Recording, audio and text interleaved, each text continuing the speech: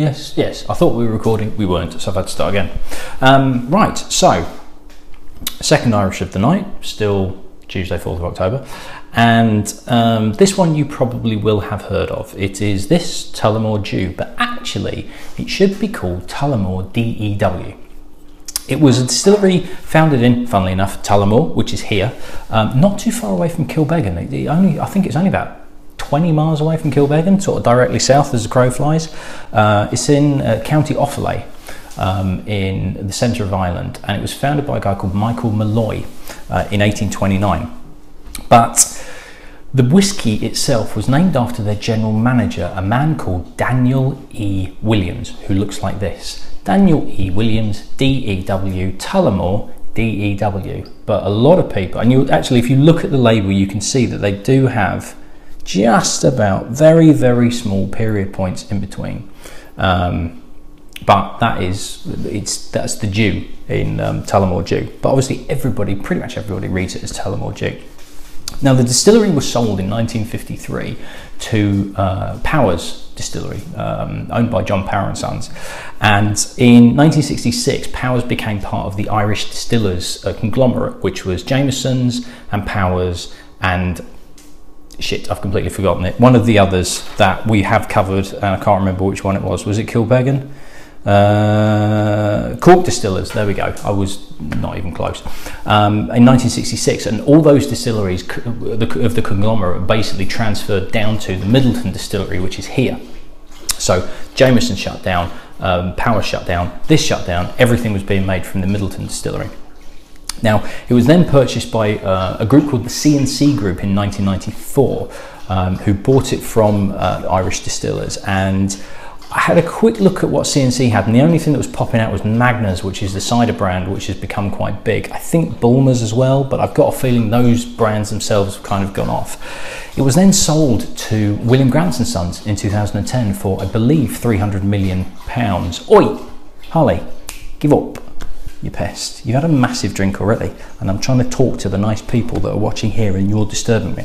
Um, so yes, uh, William Grant and Sons now own this um, big Scott company. We've covered Grants and Glenfiddich and Balvenie and all the other ones that they've got, and they own Tullamore Dew. So as when they and uh, when they bought um, the brand, they actually said that they were planning to um, invest heavily in the brand because it's very big. It's quite big overseas in America and Europe as well. And uh, in 2014, September 2014, a brand new 35 million euro distillery was opened by William Grant and Sons. So it's, I believe it's pot still and single malt. Whether they're doing grain whiskey there as well, I'm not 100% certain.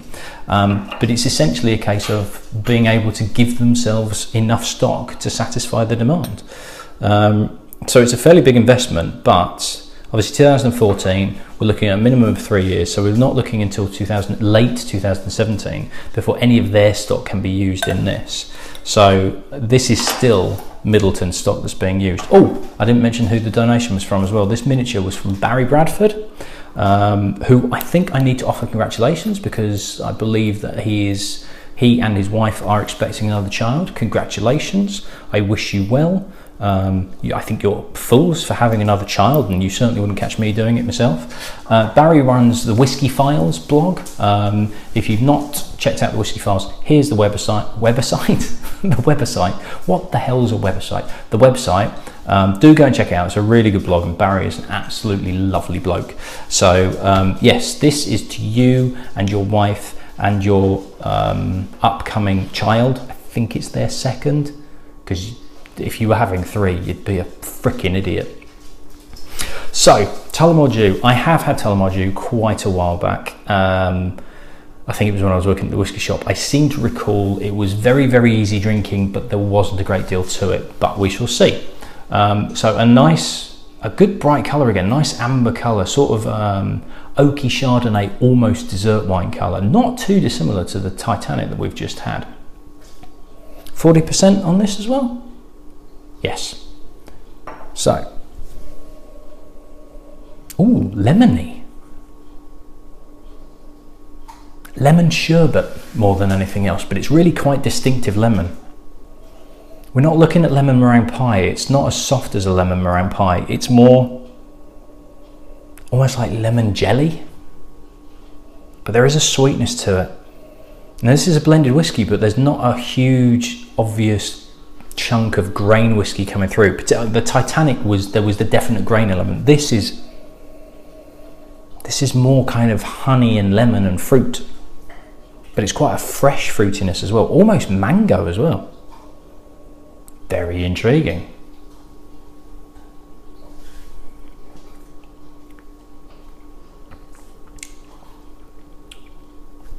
Now that fruitiness comes through as well. Oh, mango, big style.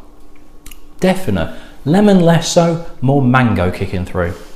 It's a little bit of a bite at the back of the throat as well. That seems to be the grain element to me.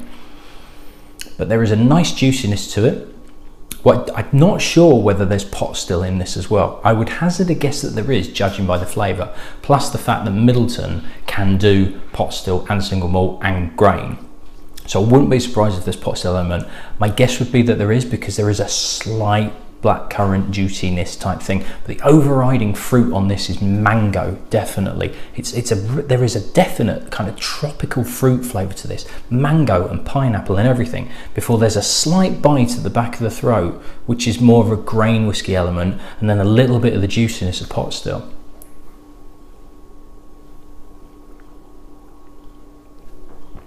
I'm almost getting a little bit of mint as well. Almost like it's a cocktail that you have when you're on holiday and you're in the tropics or you're in the Caribbean and they give you a, a lovely fresh fruit cocktail that they made that's got booze in it.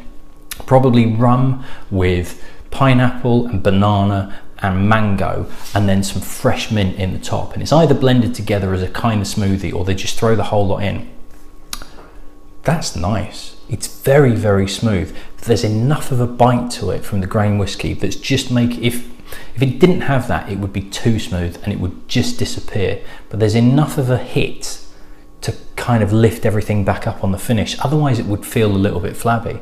But the the tropical fruit feel to it in the middle of the palate, really nice. Mmm definitely. This would work pretty well in cocktails as well. Also, out the fridge, slightly chilled out the fridge on a summer's day, I think would work really, really well. And as much as it pains me to say, do you know what? This, not with ice cubes, do you know what I put this with? Crushed ice. A decent shot of this with crushed ice so that it starts to water down. And I, I hate doing that but I think it would actually work as a sort of semi-long drink. Um, maybe topped up with soda, might dilute it a little bit too much. If you got the balance right though, I think it would probably work. But yeah, certainly as a cocktail whiskey, but to be perfectly honest, there is enough here for me to drink neat and actually really enjoy. It's probably a little bit fruity and a little bit sweet for some people. Either drinkers aren't going to want to know. It's going to be too sweet. I think some people might find it a little bit sickly sweet to me it's not quite too, it's not too sickly it's more of a tropical sweetness rather than a sugary sweetness but i could kind of understand how some people might actually think it's a bit too sickly. It's just about the right balance for me though. It's nice. It's different. It's slightly unusual as well. I haven't come across many whiskies that have had that tropical feel to it. I think it might put some people off just because of the, the, the, obvious sweetness that's there that I think might be a bit too cloying for some, but I'm really enjoying that. And like I say, there's enough of a bite to it that it doesn't get too claggy at the back of the throat. Very easy drinking, drinks well neat, but I really do think this is a good whiskey for, for cocktails, mixing, all of that lot. But I think as a, as a long drink or as a drink out the fridge, just to lift it a little bit more with the chilling, to make it slightly easier to drink, but as long as it maintains those fruity flavours that are in there, that's nice.